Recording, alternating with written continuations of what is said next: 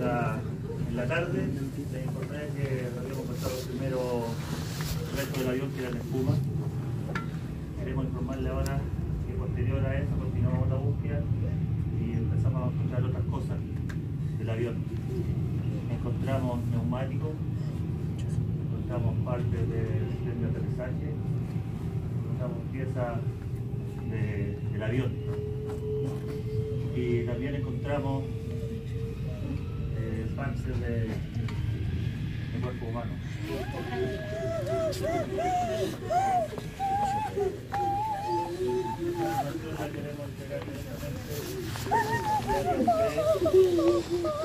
Para que no funcione por otros medios que no sea de la aérea.